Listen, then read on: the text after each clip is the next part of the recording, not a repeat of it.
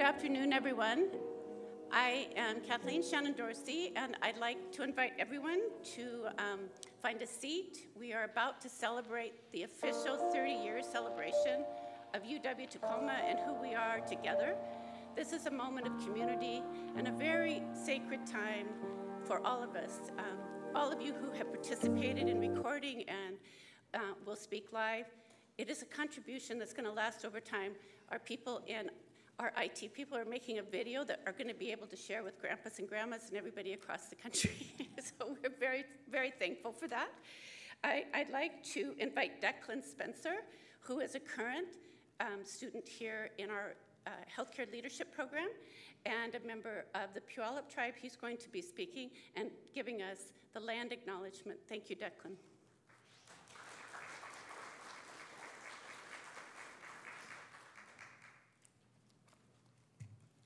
Ach lachel twel gwalapu gwalapu di ishad disiyaya. Declan Tidsta, Spoyalap Chud, to all Chud Poyalap, Kenneth Tista etid bad, Miranda Tista etid skoy, Isla Tista etid kaya, Loretta Jane Williams Tista etid kaya, Frank Wright Sr. Tista etid stapa. Good day to all of you. All of you are my beloved people, my relations. My name is Declan. I am a Puyallup tribal member, and I am from Puyallup. My father's name is Kenneth Spencer, and my mother's name is Miranda Banner. My grandmother's name is Isla Wright. My great grandmother's name is Loretta Jane Williams. And my great grandfather's name is Frank Wright Sr. In our Lushootseed language, we are known as the Espoyalapach. The literal translation of this word means people from the bend at the mouth of the river. This refers to the many dispersed villages that, that spawned outward from the mouth of the Puyallup River near the present day site of the Tacoma Dome. The Spoyalapaj also became associated with our people's welcoming and generous behavior. Over time, the meaning of Spoyalapaj or Puyallup has taken on this association. We are one of many Lushootseed speaking peoples of the Northwest. Prior to European settlement, our people lived in villages from the foothills of Mount Rainier and along the rivers, creeks, and prairies of western Washington, all the way to the, so the shores of the Puget Sound. That said, on December 24, 1854, our Puyallup people, along with the neighboring tribes and bands, were invited by the representatives of the U.S. government to participate in a potlatch at the Medicine Creek. Today, it is known as McAllister Creek, named after a white pioneer who settled the area. To our ancestors' surprise, they were met with official documents asking them to sign away their lands. After three days of poorly communicated negotiation, a few of the uh, tribal representatives, not speaking or writing English, signed their X's or signatures on the Medicine Creek Treaty. To this day, it is believed that many of the, those X's or signatures were forged. With this, three reservations were created one at Puyallup, one at Nisqually, and one on Squaxin Island. Not only were the original reservations too small to comfortably fit all of our people, but they were also poorly located, away from the natural resources that provided us our natural medications and natural foods. As a result of this miscommunication and an abuse of power, our people went to war. The treaty wars, commonly referred to as the Indian Wars, took place between 1855 and 1856. During these wars, many battles took place from the South Sound to Seattle and even into the Yakima Territory. While each tribe had their own experiences, their motivations for fighting were all the same. Our people were being pushed out, abused, and even murdered at the hands of the new settlers. During these times, many of the Washington Territory tribes came together in solidarity. Over the past 160 years, the Puyallup tribe has become a recognizable force in the fight for the tribal rights. Our elders valiantly fought for tribal fishing rights, my great grandfather being one of them. This eventually led to the Boldt decision in 1974, which was and is still monumental. The Boldt decision gave us back our rights to fish on our ancestral lands. We have also become a political force, particularly since the 1990 land claim settlement between the tribe, local governments, Washington State, and the United States government. With that said, we the Puyallup people and our relatives have come a long way, and our journey continues to this day. The fact that I am standing here before you is an achievement on its own, and my goal as a Puyallup tribal member and a student of the University of Washington Tacoma's School of Nursing and Healthcare Leadership is to make sure that I can provide for generations to come. One of the main projects that I'm a part of within the Puyallup tribe to make sure that this trend continues is a current and slow developing at-risk program, or at-risk youth program, as some would call it. But I like to call it, thanks to the help of our very own Dr. Christine Stevens, the Youth with Promise program. This program is being built to put pillars in place um, to make sure that all Puyallup tribal youth can be successful in adulthood. This will allow us to make sure that no youth feel that they are unheard, they feel unsafe, or that they are left behind. Now, it is my honor, on behalf of the Puyallup tribe, my ancestors, and relatives, to read, acknowledge, and accept this acknowledgement of the land that was wrote by the University of Washington Tacoma's Office of Equity and Inclusion. We recognize that all of us at the University of Washington Tacoma learn, live, and work on or near the ancestral homeland of the Coast, the Coast Salish people. In particular, we are situated on the traditional territory of the Swa, Twi, Twud, et Ti, Spoyalapaj, or the land of the Puyallup people. As people on this occupied territory, we have a responsibility to acknowledge the land, the ancestors who have cared for this land since time immemorial, and all of our indigenous connections today. We also have the responsibility to acknowledge the histories of dispossession and forced removal that have allowed for the growth and survival of this institution. In light of this history, let us take active efforts to partner with our Indigenous community members and neighbors as we continue to work together as a community of learners, leaders, and educators. Thank you for inviting me today and take care of yourselves.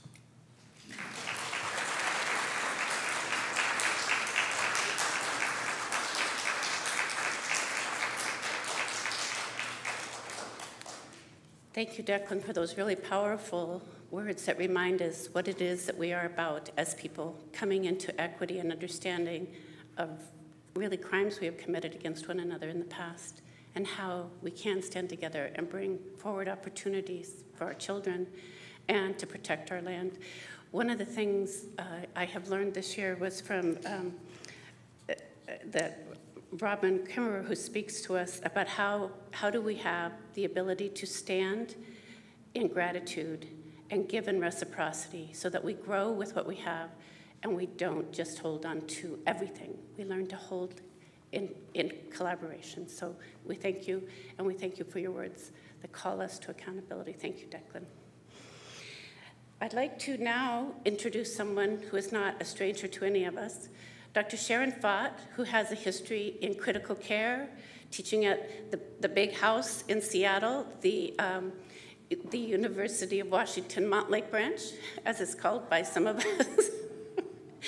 she was teaching there and was tapped to come establish this lovely little campus here. She's got a history of working in critical care, worked in the Army, has a very big heart and a very willing spirit. I'd like to invite Dr. Sharon Fought to come and tell us a few words about our creation as a campus and as a school of healthcare, nursing and healthcare leadership. Thank you.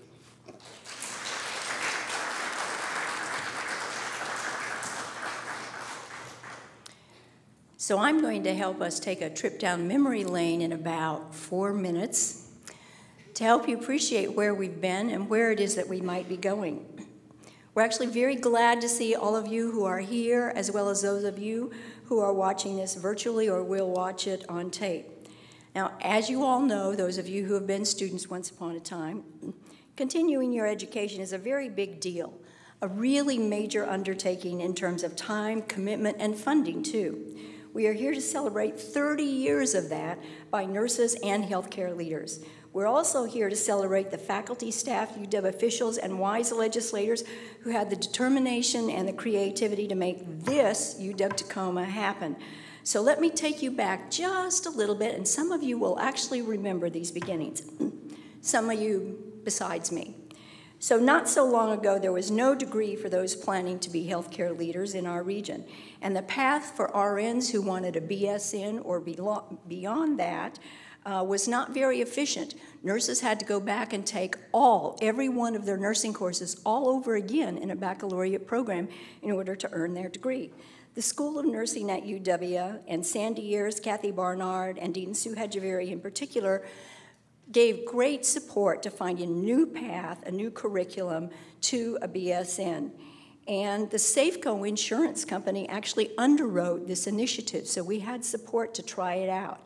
In the early 90s and, and actually back a bit further into the late 80s, live classes were videotaped, and then TAs drove the videotape, remember old VCR videotapes or Betamaxes?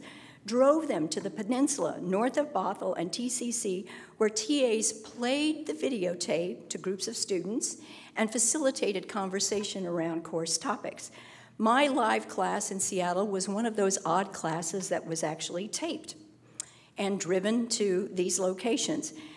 You know, I thought it was a great idea, and I was not real wild about being taped, but I did want to see if it worked or not. I honestly had my doubts about it. So I snuck down to Tacoma one day, entered the back of the room after class had started, watched the TA start the tape, and then she would stop it and facilitate discussions. And I was on the tape and I was asking my live class in Seattle questions. And much to my horror and surprise, the students were talking back to me on TV. Now, this was like 30 years before Zoom, and people were already talking back to the TV. The TA did a great job of this. Little did she know, Dr. Liz Bridges, now at UW Medical Center, that this was really the wave of the future in so many things. It not only worked, but students absolutely stayed in the program.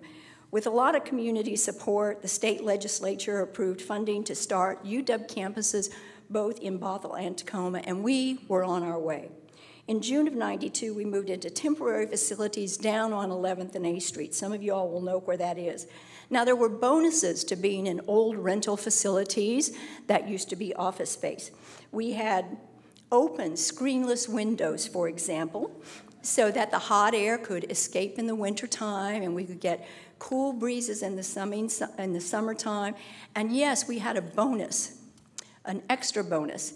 Pigeons would fly in to visit whenever they wanted to during class time, and they weren't even enrolled. The first summer's faculty saw Kathleen Shannon Dorsey uh, welcome students with me here on the campus at 11th and A, and Karn Landenberger and Janet Primomo joined us in autumn.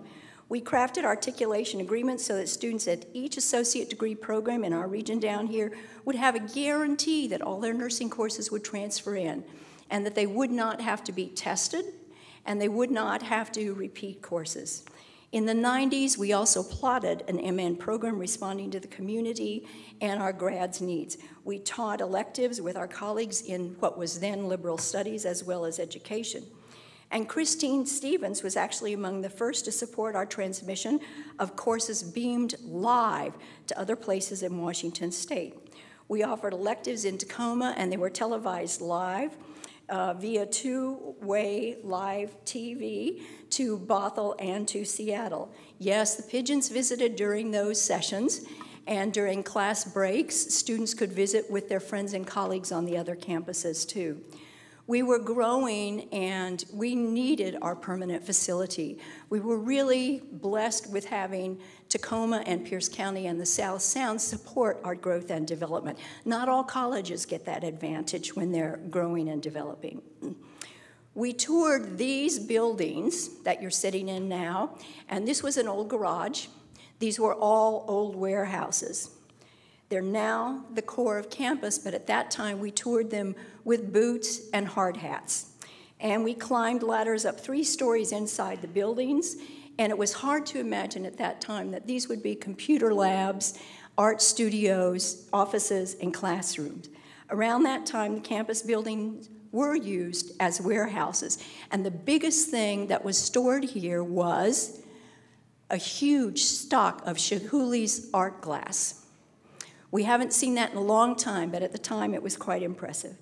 It was an interesting time building a campus, dodging wildlife, and being welcomed by Tacoma and Pierce County. We team taught electives for all majors on campus and surprised, I think, some of our colleagues with just what nursing and healthcare was and could do. Uh, I'll tell you those stories privately. Faculty created a culture of community based projects and partnerships linked to courses, and many of these projects were then institutionalized by partner organizations following the end of the students' rotation. Among our first was a survey focusing on hygiene at the Thursday Market down at about, oh, 9th and A Street, and its wonderful food stalls that we all absolutely enjoyed. This tradition of partnering with the health department, healthcare organizations, and the community continues to this day. We eventually moved to our permanent site here.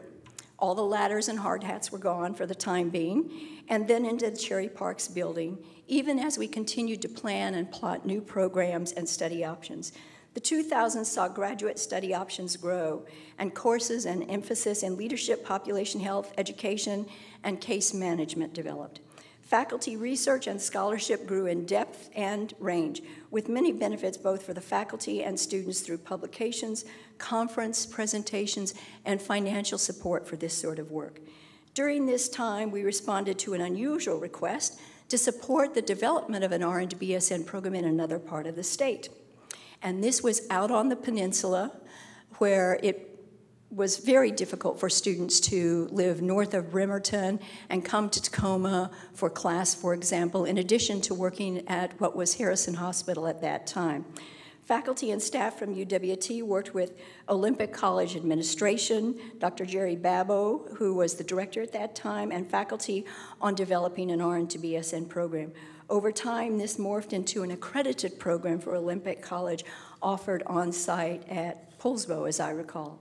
Another decade passed, and staff were thinking creatively and worked with faculty to construct and offer still more options for flexibility and efficiency for example, associate degree students can now take a couple of graduate courses as a part of their undergraduate degree and have them count towards a master's.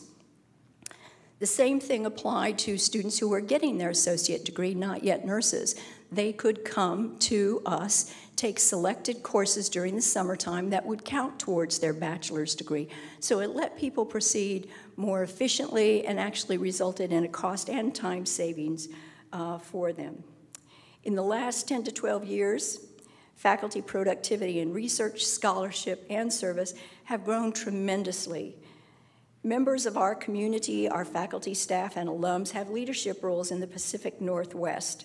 Chinese Nurses Association and the National Public Health Association, for example, uh, they are members, faculty members of, and lead other nursing education programs, serve on advisory committees for schools of nursing, are on community organization um, boards of directors, do research abroad in Asia and in Europe, work with the Tacoma Public Schools to entice high school students to consider health and health related careers.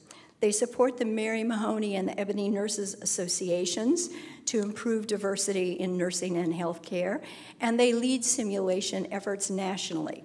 They teach on site here, Africa, and in Asia. That's pretty darn good for the size of faculty that we have.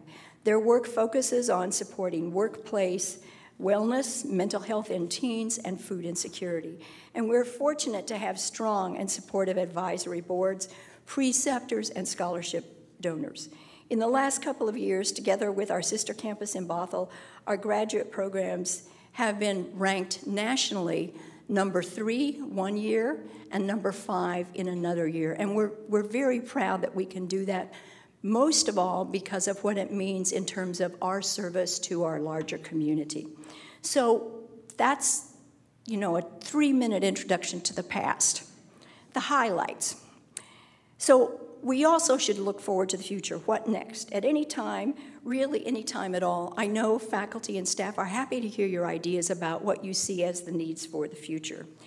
I, I am aware, as are the faculty and staff here, about a number of thoughts that have been running around in terms of what's next. Recent thoughts for our future include how to support more faculty research, especially that linked to our community, whether the community is here in downtown Tacoma or if it is in Asia, for example. How to best offer a pre licensure program, whether one is a healthcare provider or not when they enter the program creative delivery options. We've all learned a lot from COVID and Zoom, and I don't think school will ever look completely like it did before. So we've got to think creatively about what works for learners, as most of ours are working full time as well. And what graduate program is going to best serve the needs of our students? We partnered with education around an EDD program for several years, and now it's time to take a look and say, okay, what next? What's going to see our serve our needs best in this situation. We're proud of you all, especially the faculty, staff, and students, and those of you who are alums and are here to support us today. We do appreciate our clinical partners, our preceptors, and our part time faculty and clinical faculty.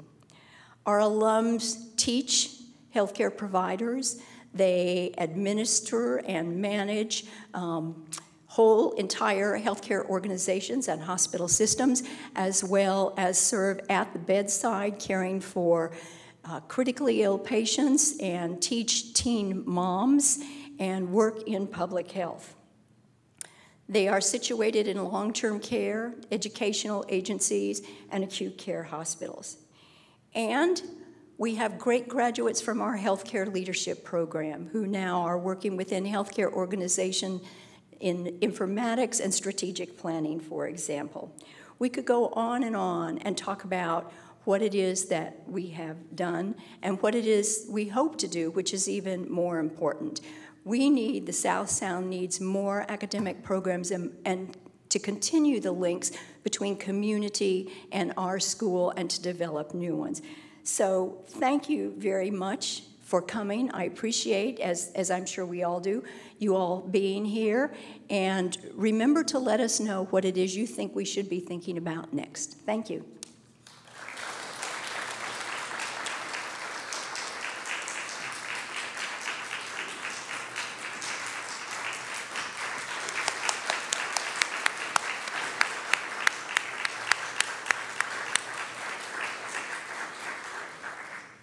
Thank you, Sharon. And for those of you who are watching this, you won't be able to see, but there was a standing ovation for Sharon. And that represents academic leadership here, our community members, alums, faculty. So Sharon, what you have done and shared with us is deeply meaningful. Now we get to have a moment, a pause, looking at photographs that we have of, of all of us over 30 years. Some of us didn't have any white hair then. I don't know. I can't remember when that was. we have lovely pictures of you. Some of them are a little grainy as we uh, tended not to have the best of quality photography in our own houses and what we brought. But there's some lovely photos here. And we have the uh, lovely IT team who's going to play these for us.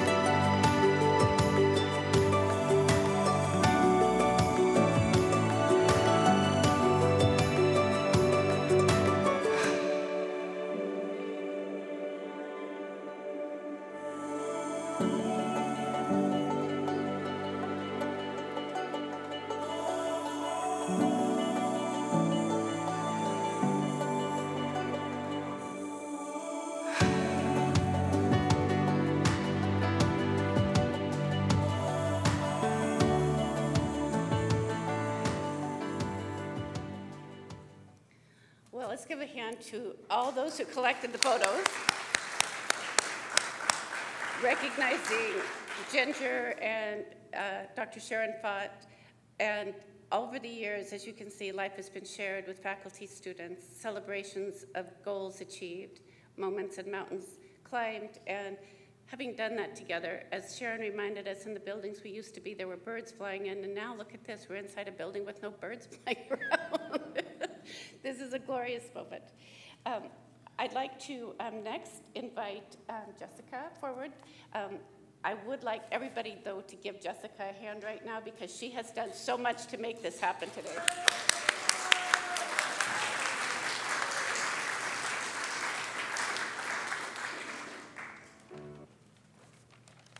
Hello. I am so very humbled to be up here representing the current staff members of the School of Nursing and Healthcare Leadership, as well as the staff from the past 30 years. I sincerely hope I do an adequate job. I know Nana's out there to tell me otherwise. Originally, the staff, the ones that conduct all of the operational side of the school, was comprised of only one staff member, Dana Madden, and a few years later, Nan West joined the team. Together, these two set the foundation for how staff worked, working hard to help students achieve their goals, with students always at the center of how everything was processed.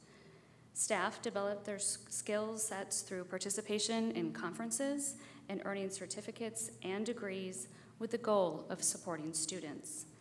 The current staff strive to continue that work today, with which is now a staff of five plus two amazing student workers. SNCCL staff are often the first people prospective students contact in the school and often even for the university. We strive to create a welcoming environment, assisting students in understanding the admission process, providing campus and school resources, and ensuring as much as possible that students graduate on time.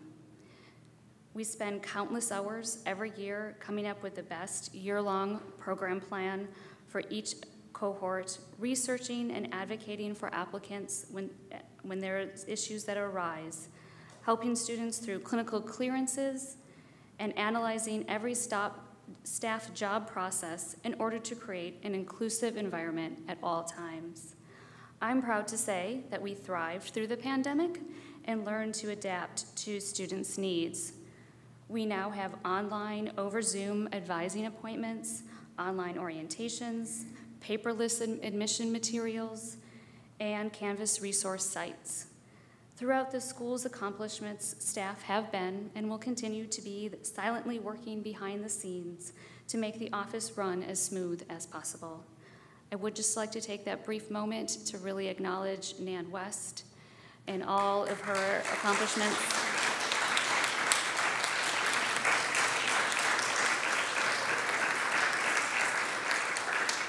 As, as well as the current staff, a few were not able to make it tonight Alexa Plord and Jamie Mason and Mari Roy. Um, but Fu is over here behind the camera as well as Jonica Hopkins and Nathan Ketzner. Thank you all for that you do.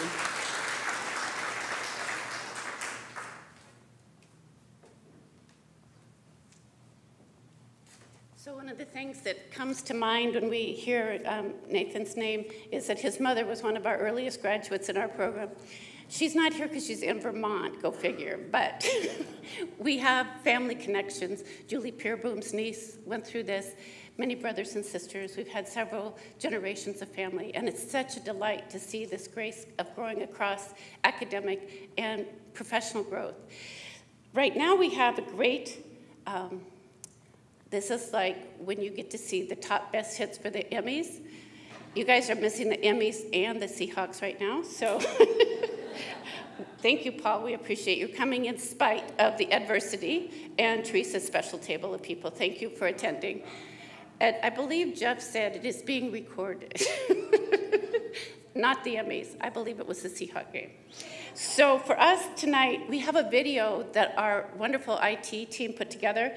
Uh, Dr. Karen Landenberger, Dr. June Lowenberg, Dr. Susan Johnson, Dr. Patsy Maloney, Dr. Robin Evans Agnew, Dr. Marjorie Dobratz, and Dr. Kathy Tashiro, sharing their memories and bringing the grace of what it meant to be a faculty in, involved in our journey of 30 years. I will say um, gracefully, um, Dr. June Lowenberg agreed to do Marjorie's because it was such a, a very touching story she needed to tell, and she didn't think she could say it without the assistance of her dear friend, Dr. June. So, take it away, team.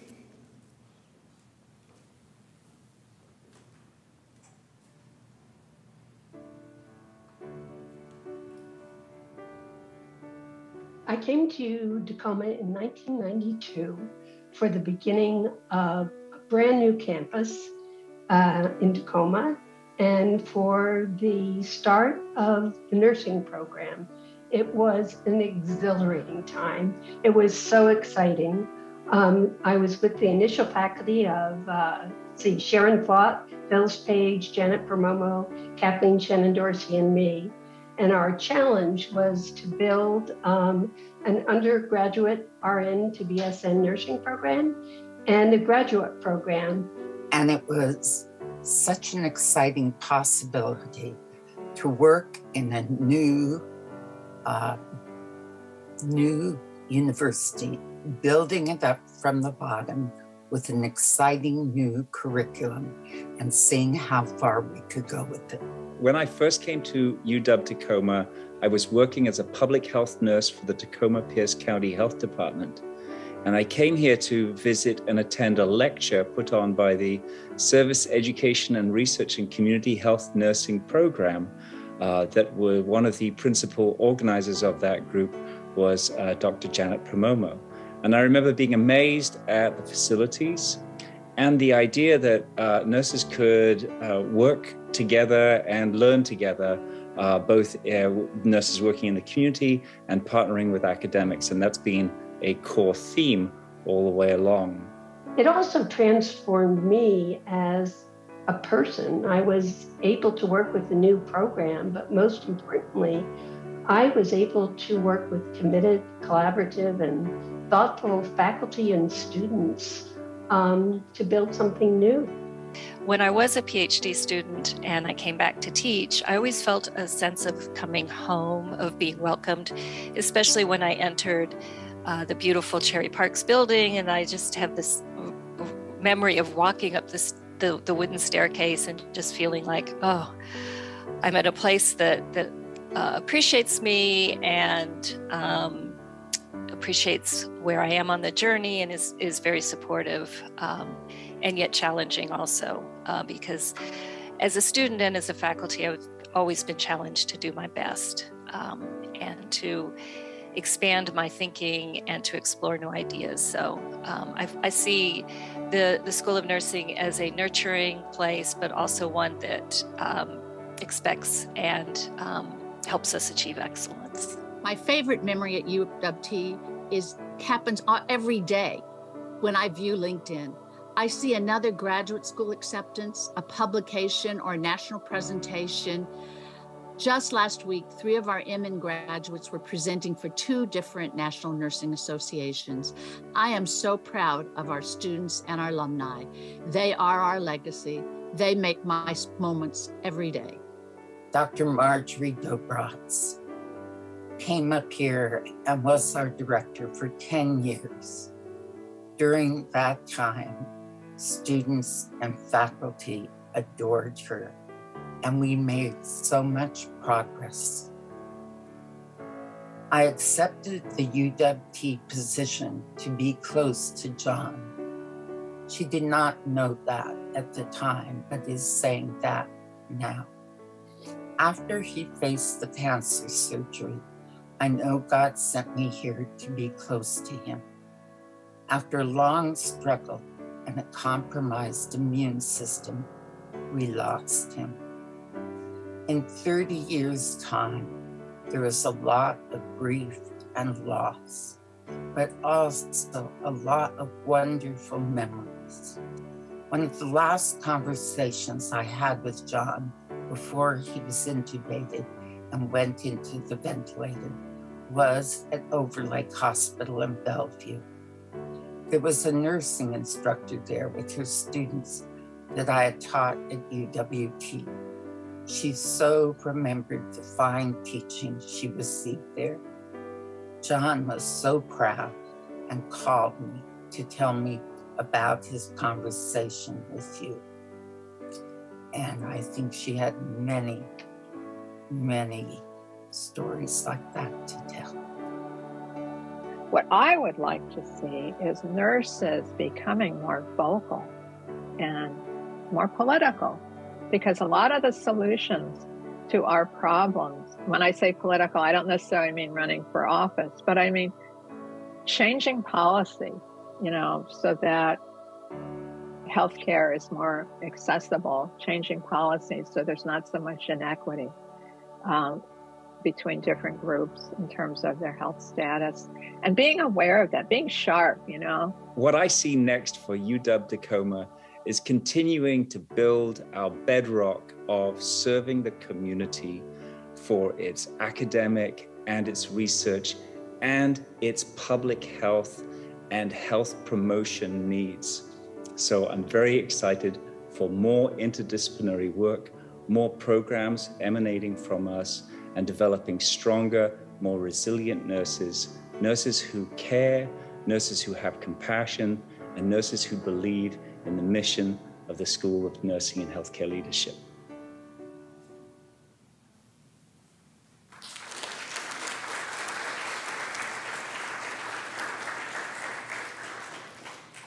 Thank you to all the faculty who took time to record.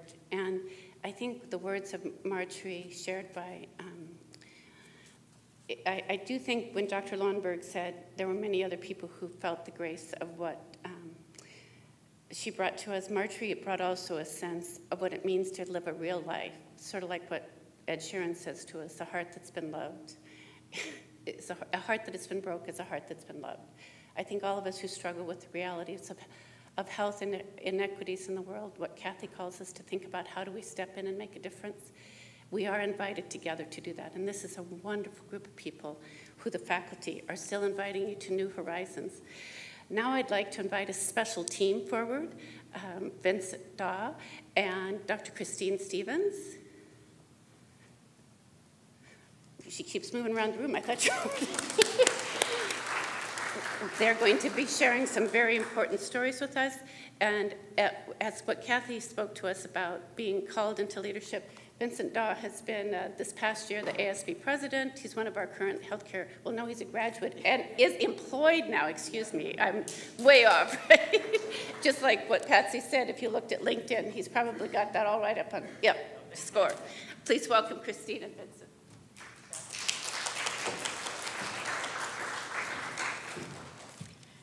Good afternoon, everyone. I'm so happy to be here with my colleague, uh, Vincent Daw. Um, we're supposed to help you remember that the Healthcare Leadership Program is part of the celebration as well. So we're going to give you a timeline, and uh, Vincent will uh, continue to um, tell you the most interesting part. Dr. Alexis Wilson and Dr. Ruth Ray were the founding um, brainstorm of the Healthcare Leadership Program. We started in 2009 with 14 students and have considered and have grown in that program. But why they started the program was that we have a very solid program in nursing with social um, justice. But what they were looking for is um, an opportunity for people in the South Sound to develop a career that would be um, one that could be fulfilling for them. And back then, as now, healthcare is the largest employer in Washington state. And so there would be many opportunities for these graduates. The other thing is, and I always tell my students there, we had a hidden agenda for this program. Now, I tell my students when you have a hidden agenda, whether it's hidden in your syllabus, your curriculum, media, or policies, you have to, have to look for bias and assumptions. So I'm going to be transparent with you about what was our bias and assumptions so you don't have to guess or be graded on it. So here's the hidden agenda. Nursing program already had a very solid foundation with exquisite faculty teaching about social justice, social determinants of health, health disparities. We wanted to build on that. The second thing is it does, we cannot let just nurses bear the burden of having to do social justice in healthcare system. If you're going to change the system, you have to have discipline, interdisciplinary work. We had to infiltrate all levels of healthcare, and that was our goal. Business uh, degrees are very good, and that's what most healthcare, uh, most healthcare agencies, hospitals, public health departments have. But what we wanted was graduates that understood the healthcare system, also understood health disparities, social determinants of health, inequities. How do you work with how do you work with the communities we serve? And how do we have team communications in, with diverse teams, but also how do we have effective leadership? Each year of the program, we would go out and talk to preceptors and alumni and students about what are the trends coming? What do you think's coming? What do you think we should do next? What do we need to put? And because of that, our program has consistently changed. We added informatics because people said that's what we need. But we had a brilliant young professor that not only added informatics, but added how can you make sure, think about bias in the data you collected, how you collected it, and the interpretation of that data. And we all know that data can be used in different ways, and she was great about that. We have faculty here who teach health and society class and does a marvelous job about talking about health disparities, social determinants of health. But we don't want you only to know at how health disparities are, what, where they are. We want you to come up with solutions, and that was what we were looking for. We also wanted um, them to have ideas about how to change the barriers to access and how to develop policies that are not anti bias. But we wanted them to go a step further. Not only anti bias, but we wanted anti racist. Not we're not going to be racist, but anti racist policies and looking at that. And so, in all of that, that's what we've been doing with our program. Healthcare Leadership Program is the most diverse program on campus. Yes, there's deans out there that are now scratching their head. I have data that I will send to you. It is the most diverse. 68% of our students are first gen. We have students with immigrant stories and students from different communities, and that's the strength of our program. One of our students early on said, I was looking for a program that didn't ask me to leave my culture at the door. And that is what we seek, is that faculty, students, staff, patients, clients don't have to leave their culture at the door. Now, uh, they've only given me three minutes, and I would like to go into everything that our students have done and how great they are, and we have several in the audience tonight. Um, uh, and I'm happy to see them. Our graduates have gone on to do extraordinary things um, and in a range of places, and we have infiltrated the South Sound region. Every healthcare system, every public health department, every they've started NGOs in their countries, they've nonprofits, and so at this moment, we they fulfilled our dream for us. But here's the point: it's never been about our dream. When students walk through the door, they develop, they bring their own dreams. And so they've gone on to be successful in their dreams for themselves, for their families, for their communities. And that's what we so are grateful to all you students for. You left a legacy at UWT that we're just trying to keep up with all of you. I have, as one of the things that happens is we get to talk to our alumni all the time, and I'm standing here with my colleague, Vincent Daw, who's an alumni of Healthcare Leadership. Now, I could go on about Vincent, but I'm going to tell you a little bit about him, and then I'm going to let him tell his own story.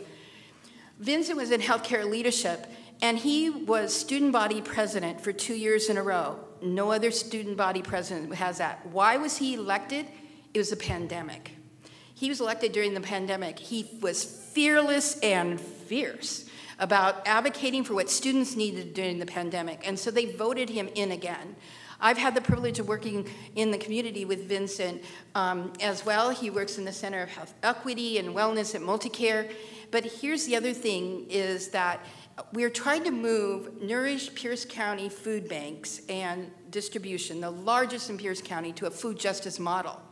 And the board and staff of, of, Nourish have voted Vincent to be the first chair of the community advisory so we can start moving it toward a food And so, um, at this moment, I'm going to let Vincent tell you about all the other incredible things that he does. Thank you. Well, thank you, Dr. Stevens, for those kind words. Uh, before I start, I actually want to kind of honor our faculty. So if you're a faculty within the healthcare leadership or nursing, could you please stand up and we'll give you a round of applause.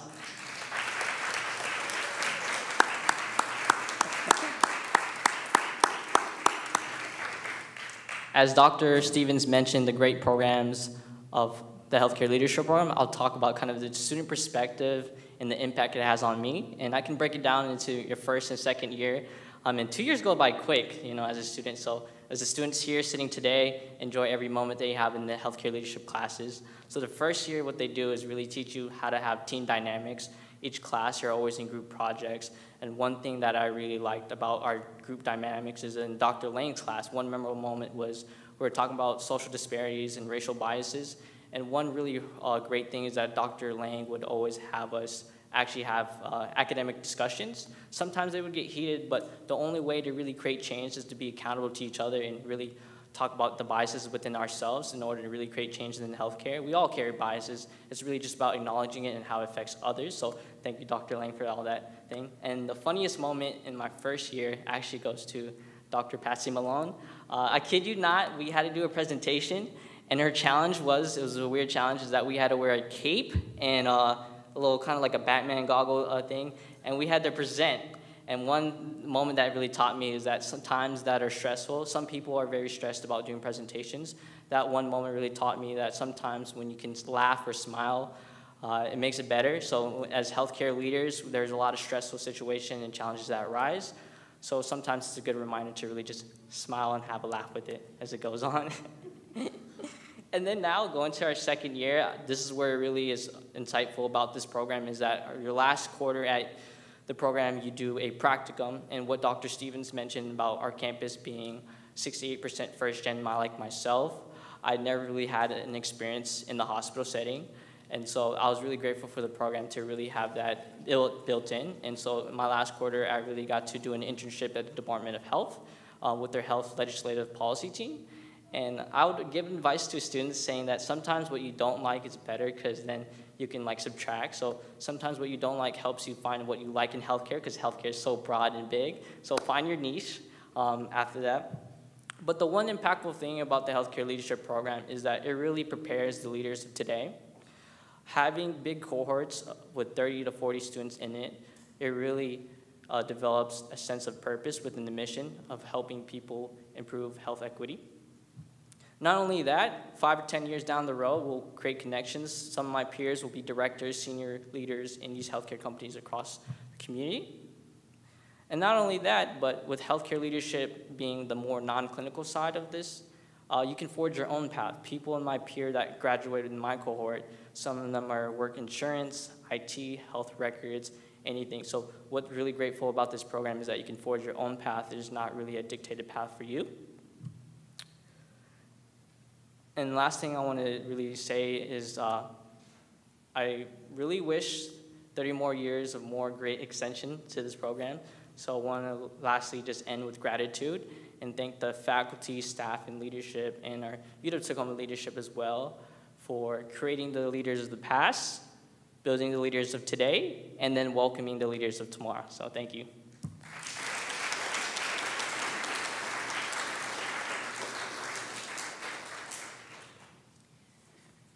Vincent, and thank you, Dr. Stevens, for inviting us to know it is in one another we find inspiration, and that is the way we continue to grow.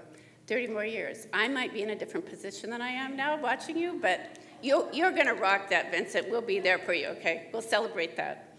I'd like to invite um, now two of our wonderful um, should we say, colleagues and graduates. It's um, Jerry Ann Babbo and Gloria Brigham. Jerry Ann is a, a, very important person in the Nursing Commission, and Gloria Brigham, with our w, she's an executive with our WSNA. I think one of the most wonderful things about coming to something like this and realizing the stature of the people you're standing with is that we went to school together. and so, Vincent, you are right. You are going to be in a community holding hands and being a part of grace and those things. So, um, uh, you guys decided who's coming first? Great. So please join me in welcoming Gloria. Oh, it's you. Go. And then you're going to vice her first. Ah, you'll do some- Yeah, I will. Yes. Jerry.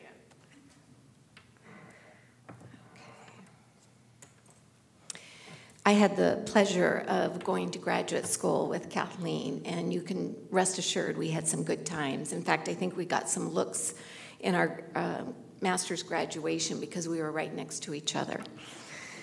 We weren't really well behaved. So, good afternoon, everyone. Uh, thank you for inviting me to share my experiences with the UWT nursing program. I am so honored to have all of my academic nursing degrees from the UW nursing program, but especially the education doctorate with an emphasis in nursing education. You know the education from the UWT nursing program is excellent, so I'm going to focus on another area of excellence that may not be as well known, and that area is student support. When the nurses in our EDD cohort started the program, Dr. Sharon Fought gave us a note of welcome, offering support and encouraging persistence.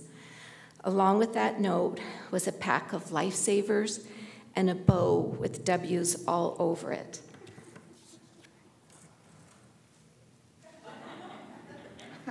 Here it is.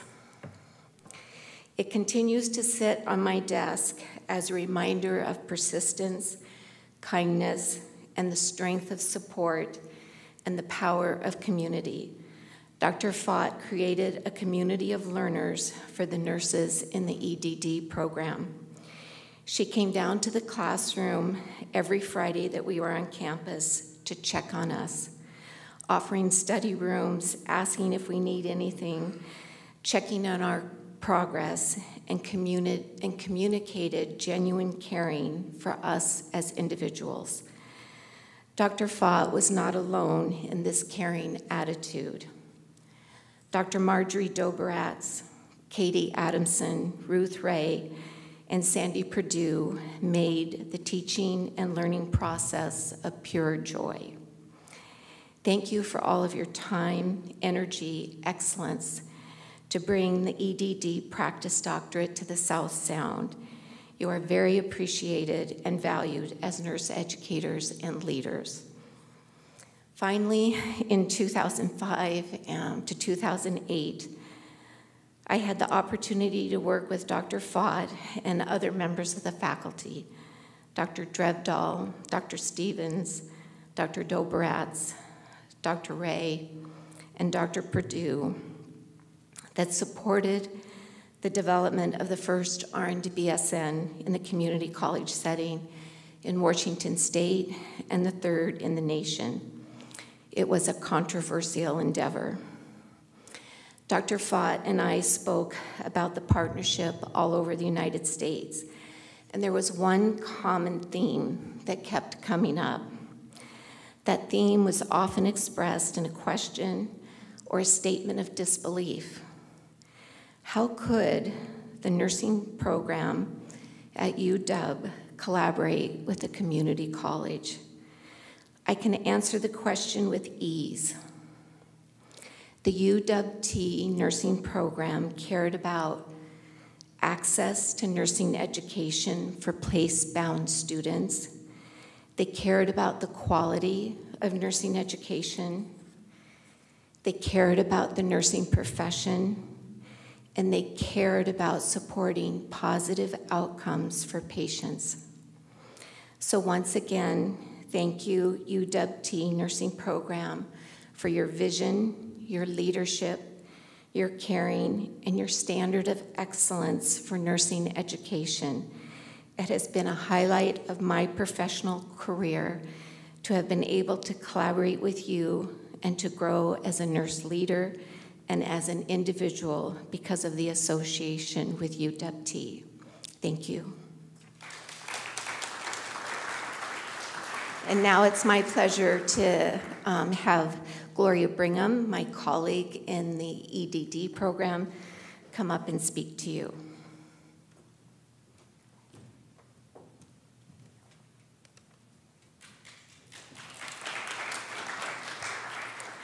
Well, uh, what I'd like to do now is to stand up here for my three minutes because Jerry Ann really said it all.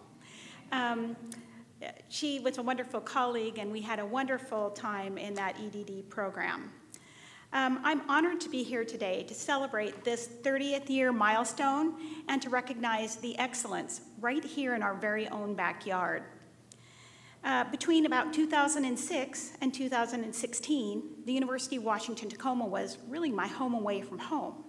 While working full time, I earned an MN degree and then went on to be part of that inaugural class that we've been talking about in the EDD program. While at the UW-T during the same time frame, I was graciously oriented to become adjunct faculty um, and enjoyed that tremendously. Um, the learning experience and the amazing faculty, staff, and colleagues here made a difference beyond belief. There are a couple things I want to highlight about the University of Washington Tacoma. I could go on and on, but you know, three minutes, got two things to talk about. Uh, so, the first is the culture of caring and the support for the diverse and individual student needs. Uh, not long into my MN program, I was invited to meet in the nursing office with one of the staff members. So, my plan for my MN experience was one class a quarter, summers off. I was taking the slow train. So, called into the office to meet with a nice staff member who was worried about not my academic progression, but my academic pace. So, think snail's pace. So, this kind person wanted to know how the UW faculty and staff could support me better to ensure that I met my educational outcomes. And really, read that bottom line was the staff member was kindly telling me that she was afraid that this turtle wasn't going to finish the race. What that told me was, first of all, that I really appreciated that individualization and the reaching out. Um, but more important, I realized that this UW program was where I wanted to be because everybody on the UW team, staff, faculty, everyone, worked so hard to support student success for uh, the diverse student population and to be equitable and inclusive in all that they did.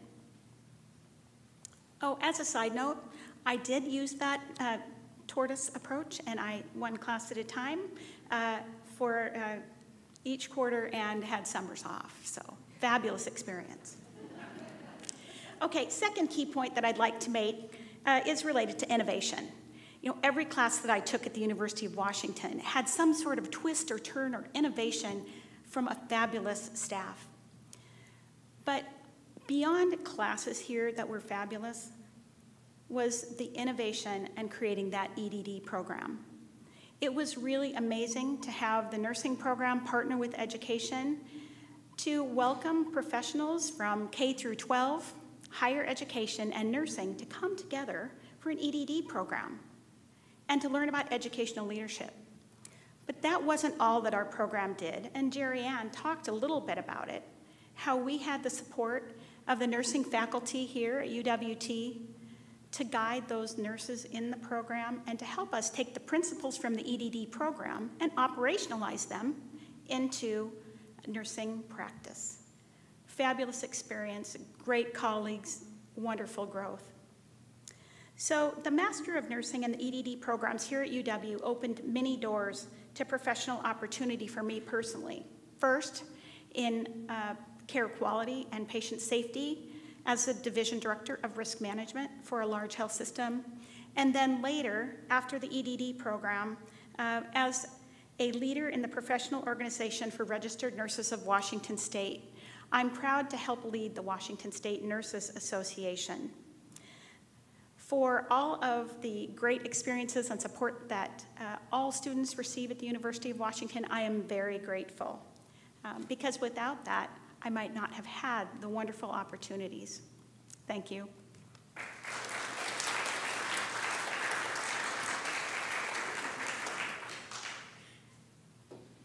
And we are fortunate to have such leadership in our school and in our shared community. Now I get to have the privilege of introducing um, a wonderful keynote speaker, Teresa Braungart. Now, you all got to read about her in the invitation. She has a whole table of peeps who are supporting her back there. so, we are very honored to have her. When she was one of the earliest class graduations, there, you will see these, there she is. She is graduating.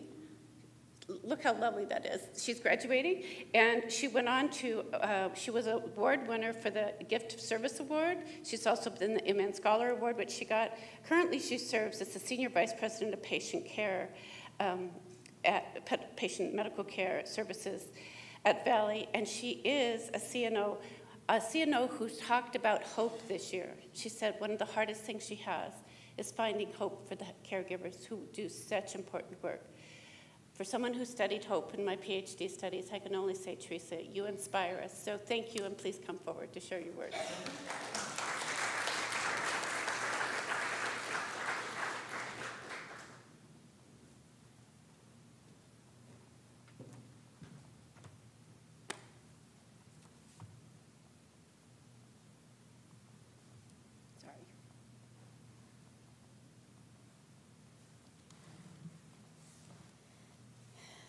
Well, just say welcome again um, to all of our distinguished guests, faculty, alumni, friends, and family.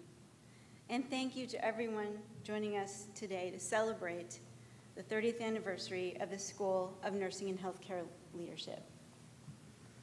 I am so honored to be here today to celebrate the faculty, the alumni, and the students of this incredible program, to honor and celebrate the past and look forward to the future. As I stand before you today, I am in awe. Just like the first day I came to class in the summer of 1993, in the Seafirst building in Tacoma, the site of the early days of the nursing program. And yes, it was hot. um, I was 25 years old, and I had no idea of the journey I'd begun the incredible people I would meet, and the relationships that would last 30 years and beyond. I can also hardly believe that 30 years has passed since that day, and that I would be standing here to tell my story. It is just one of so many. So to be able to share mine with you today is a great honor because of the many incredible alumni who are working daily to create and support the profession of nursing in our community. It is with deep appreciation and admiration I have for the faculty here. I am so honored to impart what this university has meant to me and still means to me, my career, to so many of my colleagues, some of them are with me today, and of course my family and friends, and the community I am honored to serve. So, my journey to complete my Bachelor of Nursing ended when I found the University of Washington, Tacoma. Working full time and living in the South Puget Sound meant finding a way to, to meet the demands of work and school and navigating the travel time to and from both. Having an extension of the University of Washington literally in my backyard meant I could attend the best nursing school in the country.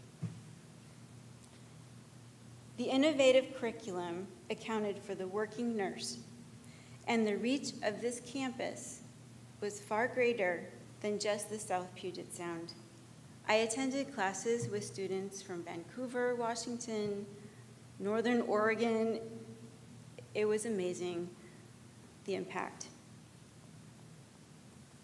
UW Tacoma was exactly what I and so many others needed to be successful, to be able to balance home, children, family, and career with continuing our education.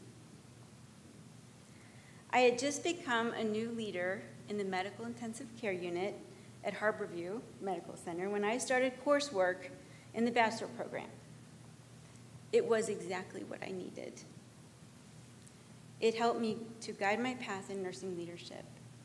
The courses focused on the realities of working in a variety of healthcare settings. Tools were provided to help navigate management, quality, population health, and assignments that meant being able to research and write about real pro- problems nurses manage with their patients, their community, and beyond. And there's no lack of content when you're working and going to school because there's all kinds of problems we're always solving. These tools, ideas, support, and guidance enabled me to utilize them in real time, enriching the experience and the dialogue that I could have with my faculty and students.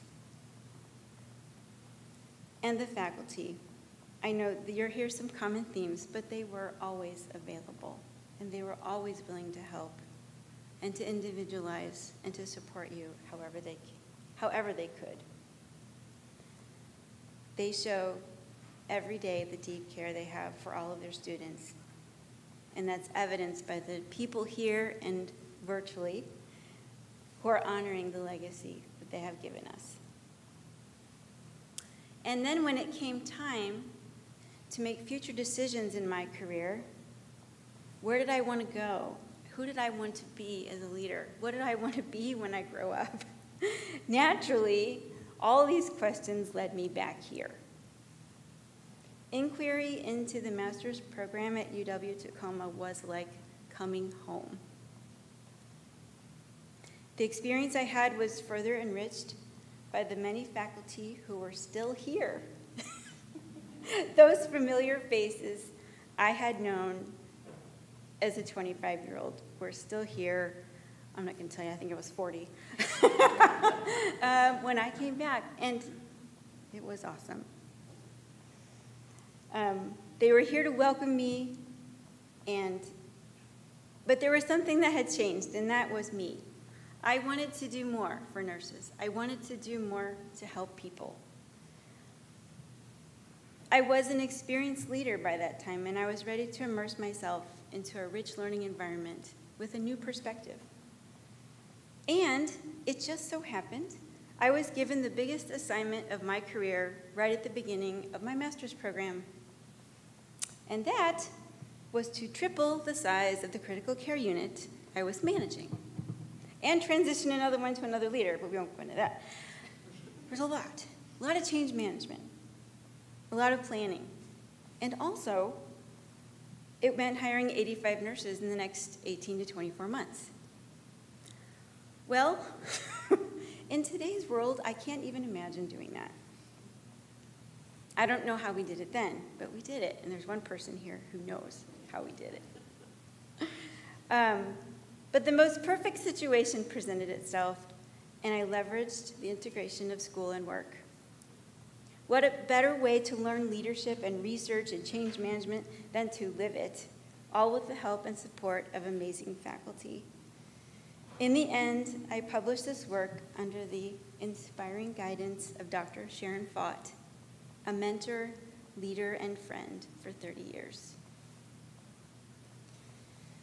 Without the innovation of this school, many of us would never have been able to balance all of the competing priorities nurses face and may not have gone on to further our education, thus diminishing our opportunities to lead, teach, and guide the vision for nursing.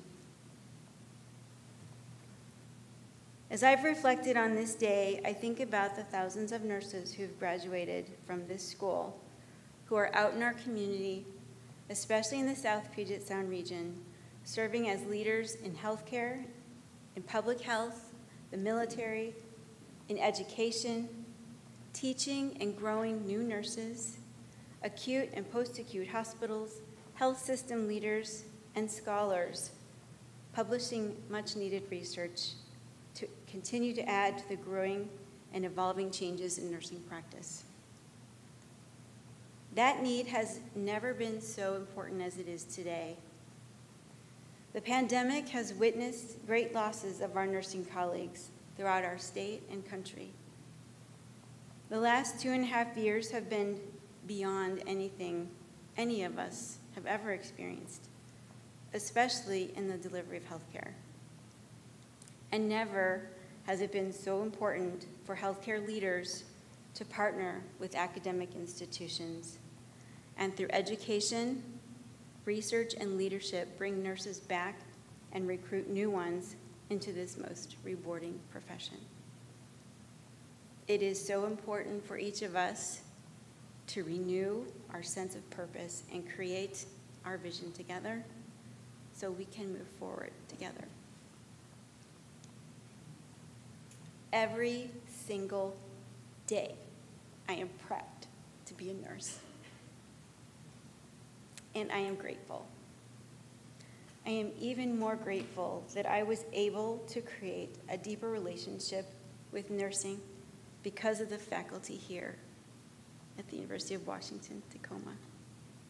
I'm so glad you founded this program and that I could be a part of it.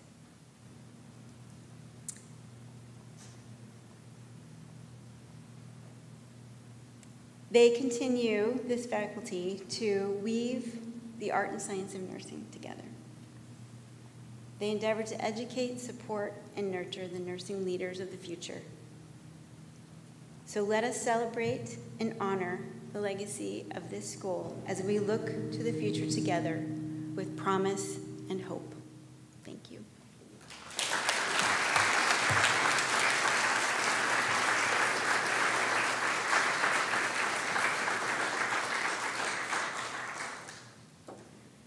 Such a wonderful word to be speaking of legacy and promise in the same sentence. We look back and we look forward.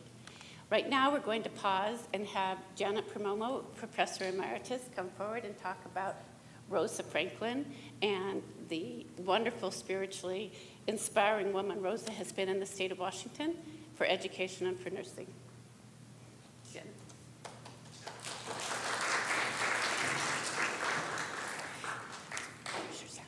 Thank you so much for gathering with us this afternoon to celebrate our 30th anniversary. I focus my remarks on Senator Rosa Franklin's inspiring legacy as an extraordinary public servant, community activist, legislator, advocate for nursing education and all education, social justice and health, and registered nurses, and how that has led us to the creation of an endowed scholarship in her name. I first met Senator Franklin 30 years ago, you can tell from the pictures that have been shown, a while ago. And as one of those founding faculty members, launching a new program was really a dream come true for me. This program for registered nurses who were wanted to pursue their BSN was really quite a dream come true, really. I had the flexibility to create new courses for adult learners. In the winter of 93, I offered a one credit or two credit elective course on health policy and politics. Politics. That was something near and dear to my heart. And that elective was one that included my favorite teaching modality, experiential learning, which meant we took a field trip to, Tacoma, to the Olympia State Capitol for Washington State Nursing Association's Legislative Day. The highlight certainly was meeting with Senator Rosa Franklin in her office, the very first African American senator in our state, not just the first woman remembering back to 92, 93, if you, re, if you were born then, that was really a time that women advanced in public office. So it was a very exciting time. So we got to meet with Senator Franklin and learn about her nursing background and how that gave her special perspective about championing for social justice, education, and health. She saw firsthand as a nurse how the health system could be improved. Next slide, please. So this is this iconic slide. Okay, well, it'll come.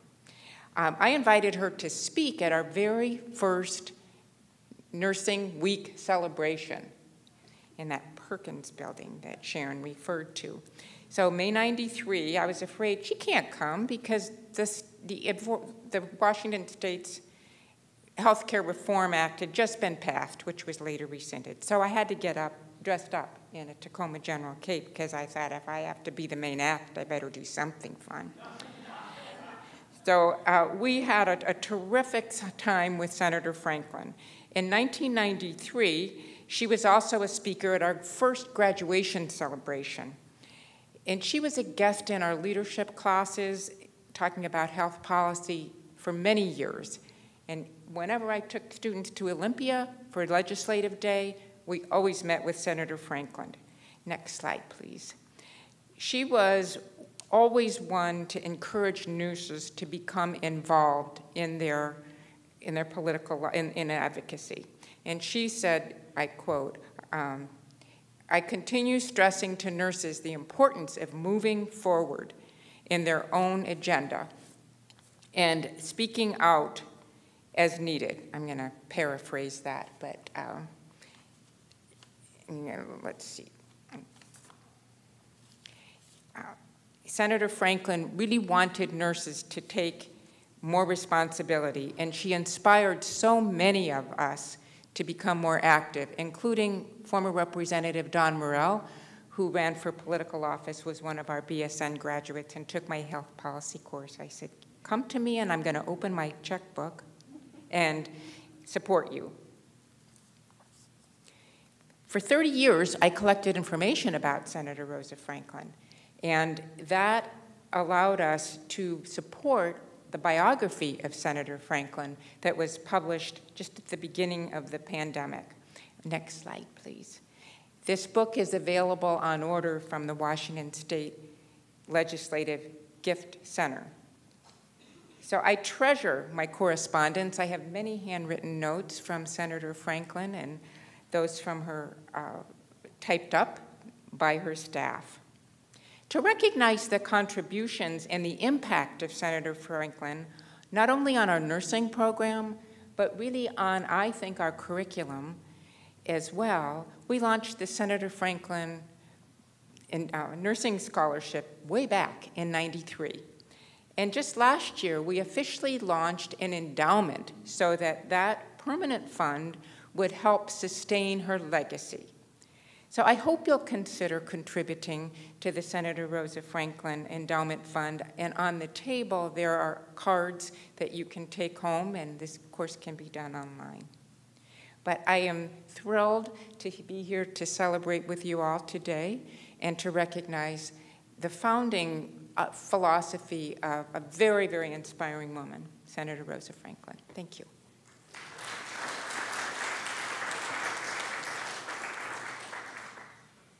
It's very exciting to see social justice lived from 1993. Some of you weren't even born yet, right, Vincent?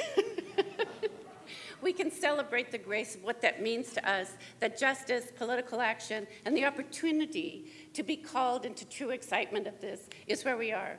We have spent some wonderful time with Janet now sharing the legacy of Rosa Franklin, the legacy of 30 years, Teresa's idea of how hope can be integrated, and so wonderful that a senior leader in a CNO vice president can still speak of hope. That's one of the things we all need to find, what it is that we are called next to be in the hopefulness.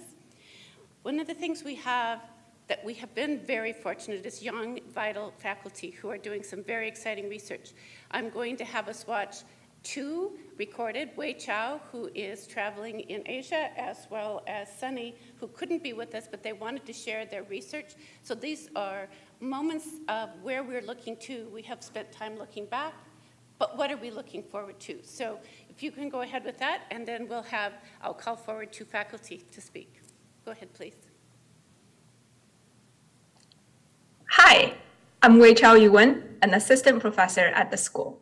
My scholarship focuses on examining the interplay of culture and health and developing interventions to promote health among historically oppressed individuals and families. I have developed two technology-enabled health solutions of tailored symptom self and family management support in people with chronic health conditions and their families. I have worked with cross-culture populations and communities, including Black, Latino, Asian Americans, and Pacific Islanders. Over time, I have centered my research around promoting health equity and have found that family caregivers are a underserved population in critical need of support, especially those who are from diverse backgrounds and prefer to speak a language other than English. I'm working with collaborators from biomedical informatics, public health, computer science, and human-centered design and engineering in developing COCO, for care, caring for caregivers online. COCO is a cutting-edge technological solution for family caregivers using artificial intelligence and natural language processing. We hope to make COCO available in different languages and sensitive to different cultures in the future to support family caregivers from diverse backgrounds. Thank you everyone for attending this wonderful celebration.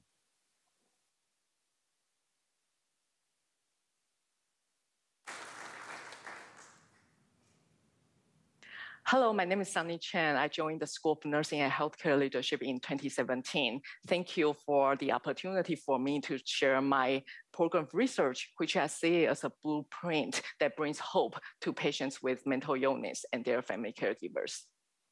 I'm passionate about mental health because this spectrum, uh, everyone will move back and forth along this line in their entire life my research emphasized the continuum from supporting the recovery from mental illness to the prevention of mental disorders and promotion of mental wellness. About 450 million people today suffer from mental disorders. 30 years ago, we placed people in the lock psychiatry institutions, while today we value recovery in the community a lot. One of the pro projects uh, I'm working on is to work with the community mental health network called New Journeys in Washington State to establish a nurse care manager role to support the physical and mental health care for patients suffer from mental illness. Prevention is better than treatment. This prevention model worked really well for medical disorders which have clear etiology. However, mental illness is very complicated. It's even challenging to agree on the exact timing for disease onset. Therefore, I interview patients with mental illness to identify what would be the early warning signs that we can use for the uh, identify people who are at risk of mental illness. After mapping up um, those indicators, I work with computer science experts using machine learning model to optimize the early identification process. In October 2021, the American Academy of Pediatrics declared a national emergency in children's mental health, citing the serious toll of the COVID-19 pandemic on top of existing challenges.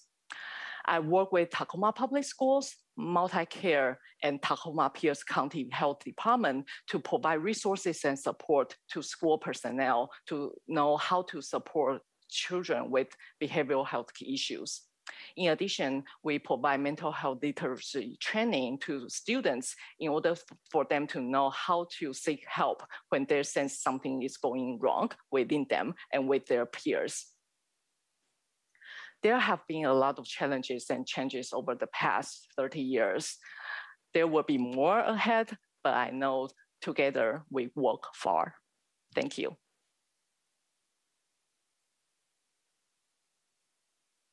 So I would like to invite um, to the stage um, both Katie um, Haerling and uh, Sharon Lang. It's so wonderful as we hear Sunny and Wei Chao speaking about what it means to care for caregivers, natural language processing and machine learning, and really promoting all around health. It's a great horizon. So um, Katie, would you like to come forward?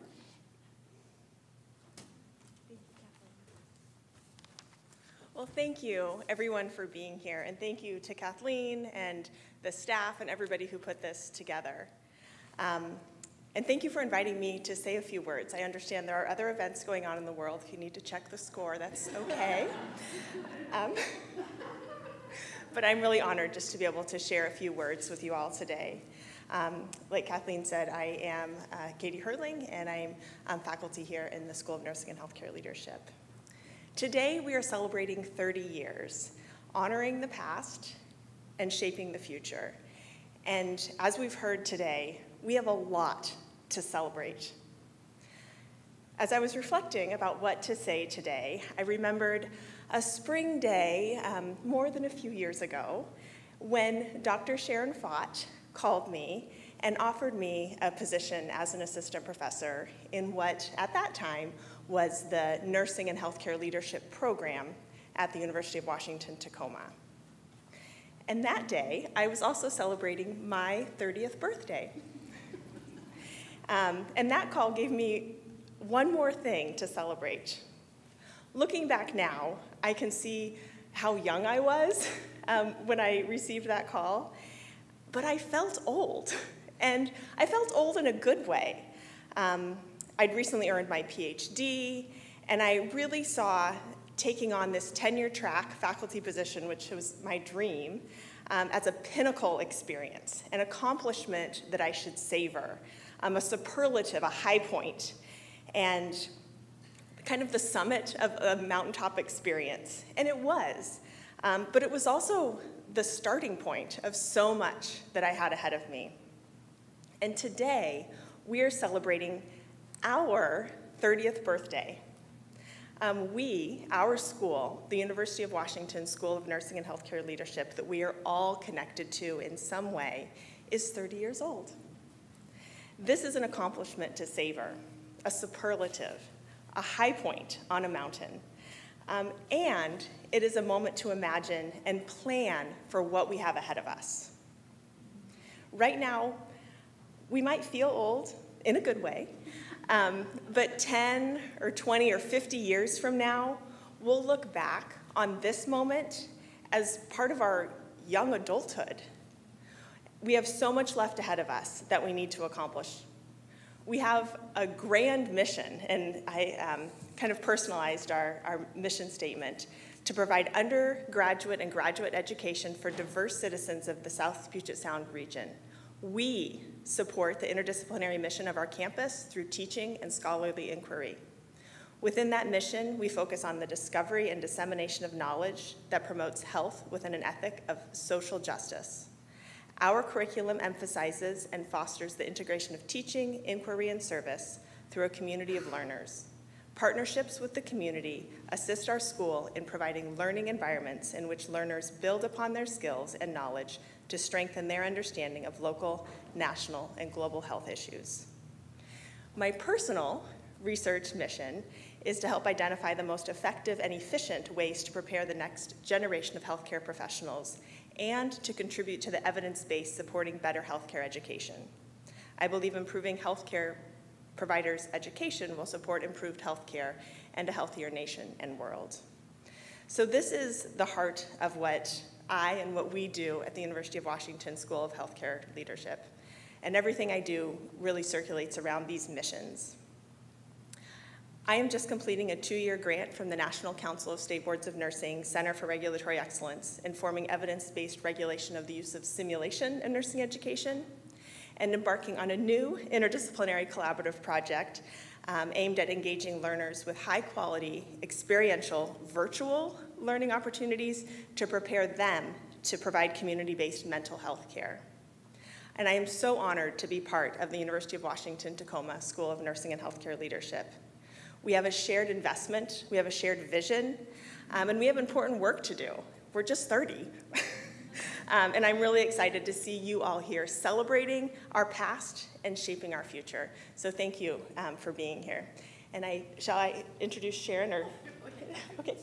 Um, and one of my colleagues is also um, going to be talking about this section about kind of looking, looking forward. So Sharon Laing.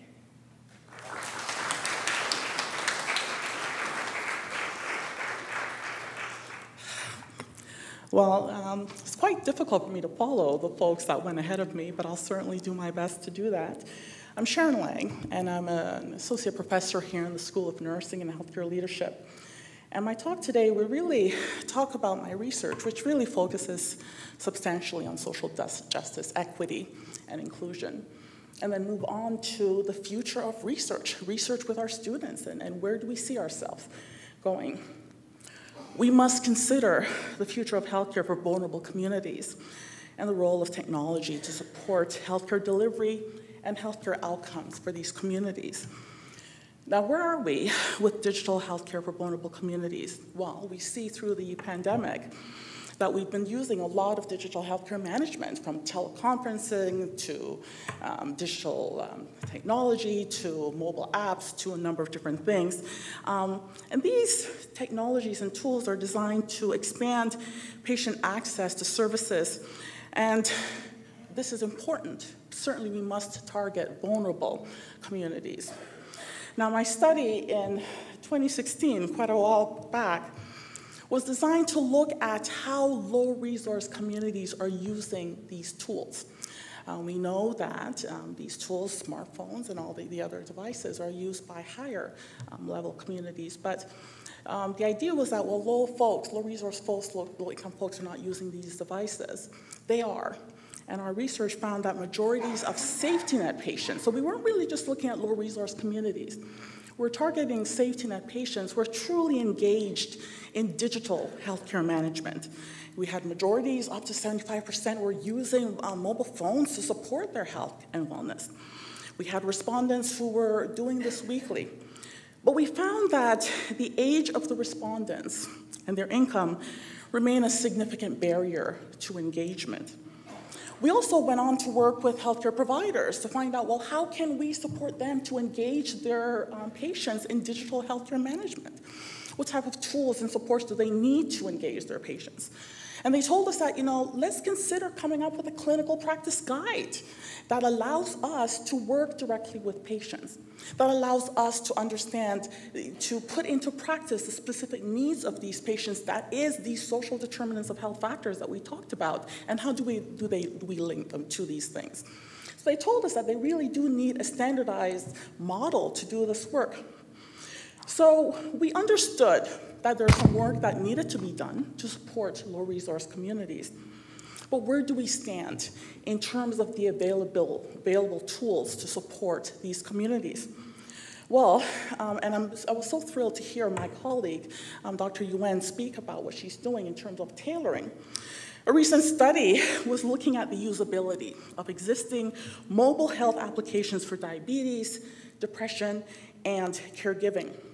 Now, through direct observations and interviewing, the study found that these commercially available apps, applications that we all may take for granted to address diabetes, to address disease, to assure um, we have the proper caregiving support, were not usable by the low resource communities. The reason why was that these folks had a tough time entering their data. They had a tough time entering their blood glucose level. They had a tough time tracking that. So although we have a community that is really invested in using the available tools to support their health and wellness, the problem is, is that the way the tools are designed are not designed specifically for them in order for them to really truly meet their healthcare needs. So we recognize that in the work that we do, we must tailor these tools because the folks that are most impacted by chronic disease is are the folks that I'm working with folks in these safety net communities. We must go to these communities, we must talk to these people, we must learn their needs, and we must tailor and design the, the tools so that it can be feasible and usable for these communities. So, the implication is that technologists must involve low resource safety net communities and their healthcare providers in their study when they're trying to develop these tools to support these communities. How do we move this needle forward? Well, I've been fortunate enough to be involved in a research study um, supported by the National Institute of Health to support low resource African American girls around healthy eating and physical activity. We're working with researchers from Minnesota and Georgia, MIT, but the goal really is to talk to the families, talk to the young women, observe them in their setting, understand what are required in order to fully engage them in physical activity, to fully engage them in healthy eating. This is what we must do. We must truly engage our communities. We're in the phase one, we're wrapping up the phase one feasibility stage, where we're getting really good feedback from our focus group analyses about how to work with vulnerable communities. To wrap this piece up, I'd like to um, say that as we proceed in applying digital healthcare management to reduce healthcare disparities, we must work directly with our communities. And we must work with our communities that are most impacted. We must tailor the tools so that they're developed in a way that reduce frustration in engagement, increase confidence in engagement, and permit the tools to be useful for those communities. The last thing I do want to talk about is training our future healthcare leaders. We must actively engage students in research. Um, evidence show us that such engagement promotes personal as well as academic success. So I'm going to brag a little bit, if you may indulge me, with some of my students and their successes to show you the, the implication of engaging our students in research. Jamie Root, Maya Nguyen, Bachelor of Arts Healthcare Leadership in 2019, working with me and a subset of the study, they assessed the role of affordability, availability, acceptability in ensuring healthcare access to safety net, low resource communities. In doing this work, Maya received the Mary Gates Scholar Award. Jamie will be, is a co-author on a paper that we just published in the Journal of Young Investigators. Anna Howard, another student with whom I worked, graduate 2019, her work evaluated the care provided for transgender patients who are using the safety net system. The goal of that study was to support the healthcare providers in really pro providing gender affirming care to transgender community. For her work, Anna won the Mary Gates Scholar Award, and she's the lead author of this paper that we just published in the Journal of Young Investigators. She just finished up her MPH in epidemiology in the School of Public Health and she's now pursuing her PhD in epidemiology in the School of Public Health. Lucas Bajorkine, who worked with me several years back, looked at healthy eating and physical activity for rural communities and how can we use digital healthcare to support this community. For his effort, Lucas won the Population Health Recognition Award in 2021. He's co-author on this paper that we submitted, and he's currently um, was appointed to work on this research at the UW um, Medical School with a very um, prominent research group. Jackie Madhava, who recently worked with me looking at the impact of COVID on BIPOC communities. Jackie is from Zimbabwe. She was looking at the African community in particular. She explored the ways by which COVID 19 exacerbated social determinants of health factors for African communities in County, in King County, Washington.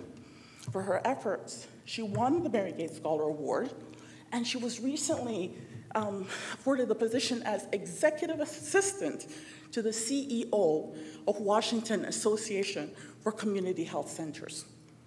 Bao Nguyen, who recently worked with me again, evaluated the impact of COVID on the mental health of Asian American and Pacific Islanders in Washington State and Massachusetts.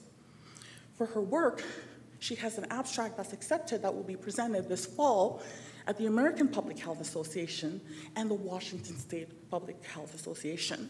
She will be pursuing Doctor of Osteopathic Medicine in the fall. In the fall. Participating in collaborative research does yield substantial academic achievements. It motivates students to stay focused. It helps develop problem solving skills. It builds and enforces professional identity, boosts interest in graduate school and professional studies, improves confidence, and improves retention rate. As we look to the next 30 years and beyond, we should continue to emphasize student success through the work that we do as faculty with our students. Thank you.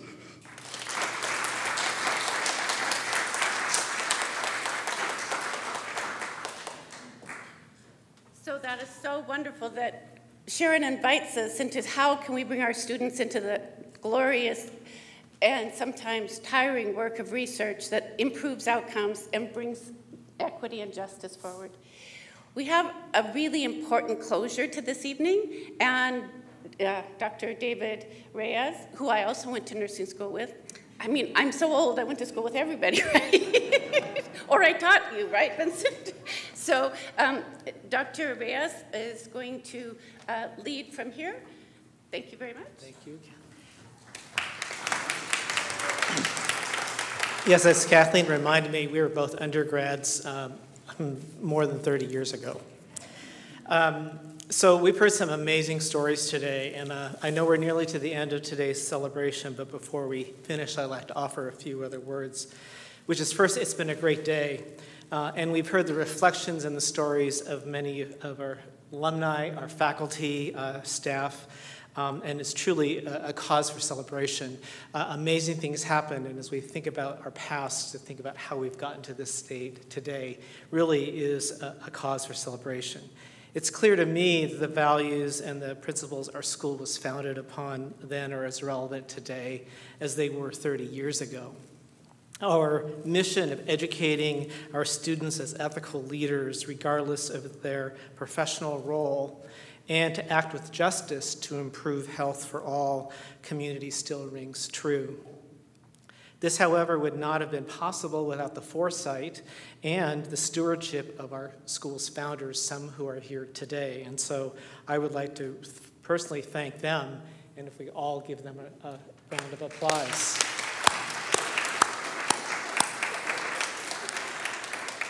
I would also like to take this opportunity for a special recognition um, and share some words. Um, our Chancellor, uh, uh, Chancellor um, Sheila Edwards Lange was going to be here today, but as uh, we know, the pandemic is still going around and she is working remotely. But we do have a recorded message from her, so if we could go ahead and watch that. Hmm? After. Yeah. I'm Sheila Edwards Lange, the UWT Chancellor. I'm so sorry I cannot be there with you due to personal illness. I was so looking forward to celebrating this incredible milestone in our history. For those founding faculty members who are there today, I want to extend a special thank you for setting the foundation of excellence that we continue to enjoy today. When I started meeting with members of the community, when I became the UW Chancellor, it was immediately clear the impact that the school has had on Tacoma, the South Sound, and the wider region. We have 1,900 living undergraduate alumni, 580 graduate alumni. And I tell you, alumni of this school show up in healthcare leadership positions everywhere I turn in this region. This anniversary celebrates the history of nursing and healthcare leadership, but also so much more. It's 30 years of partnership and relationship building. It's 30 years of constant steady advocacy for public health, for the vital role of nursing in a sustainable, equitable healthcare industry. The work of all of you and many others has already brought forward so many important results, and that work has laid an incredibly strong foundation for the future. The school and UWT are engaged in vital efforts to expand access to nursing as a profession and to address potentially devastating labor shortages in the healthcare sector. UWT has partnered with other organizations to form the Healthcare Careers Academy. We've also partnered with the Pierce County Healthcare Workforce Coalition to press for funding to address expanding capacity, expanding career pathways at the K 12 level, and creating pathways for upskilling unemployed and underemployed healthcare workers. Another reason to celebrate the 30th anniversary the excellence of the UWT nursing and healthcare leadership has been recognized nationally. In 2022, US News and World Report ranked our program as the number one public master's nursing program in the country. Nursing on Tacoma, Seattle, and Bothell campuses are accredited as one UW School of Nursing, but this ranking is entirely due to the great work of UW Tacoma and Bothell, as Seattle does not have a master's degree. So congratulations to all of you on this 30th anniversary and for incredible work done thus far. And now for a very special, exciting surprise. The UWT School of Nursing and Healthcare Leadership has created a new Founders Legacy Award to recognize outstanding leadership and contributions to the school. And I am thrilled beyond words to announce that the inaugural recipient of this award is Sharon Gavin Fought. Sharon is the most modest leader in higher education I have ever met. The secret to her success has been her insistence that she remain behind the scenes and that others deserve to be in the spotlight. Her entire career has been dedicated to the professionalization of nursing and healthcare leadership. She's had an enormous impact on this school, having led it for 20 of its 30 years of existence. She was there at the beginning, and she has been there for every major milestone in the history of the program, including serving as the inaugural dean when it was elevated to a school. Put together her modesty, her strategic outlook, her dedication to nursing, and what she has done for the school and the university, she is more than worthy as the recipient of this inaugural Founders Legacy Award. Please join me in congratulating Sharon and welcoming her to the microphone. She just called me sneaky.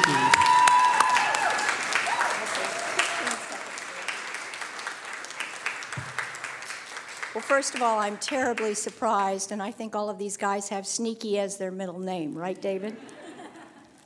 uh, thank you very much. As many of you know, I miss work terribly, and I really welcome any opportunity to support the work of the school in nursing and healthcare leadership and in academic programs yet to come.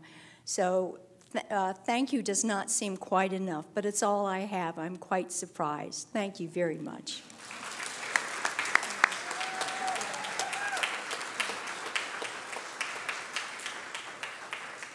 And before she actually, we have one more little accolade we'll uh, play for right now, someone who also couldn't be here, Dr. Ali Modarres.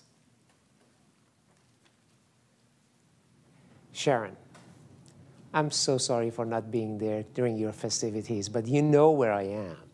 And I think you approve of the trip I'm taking to go see my parents. So sorry for not being there, but I thought I should share a few things with you I really appreciate you. You have been the sort of leader I have always followed. From the first day I came to campus, I have been able to work with you and learn from you. You're a founding dean for me. You are the sort of person who built this campus. And I have to say that I was very surprised very early on when I found your signature on the formation of School of Urban Studies. So, in many ways, the position I have is owed to you and your signature as well. Thank you for your leadership. Thank you for sharing your thoughts and sharing your experience with all of us. I, I do miss working with you. I hope all is well with you and you're enjoying retirement. And in many ways, I'm looking forward, forward to interacting with you when I return, maybe have coffee, maybe have a chat you will be always someone who I want to have on speed dial. Thanks again for many years of camaraderie on the Council of Deans, for many years of interacting with me. You made it so personal. You, you learned about my family, and every time I saw you, you asked about them. I truly appreciate your genuine interest and how you treat your fellow um, deans and how you interact with all of us and faculty and staff. You are a true leader. I wish you the best. I hope you enjoyed this surprise and you will forgive me for not being there. I look forward to seeing you when I return. Thank you and be well.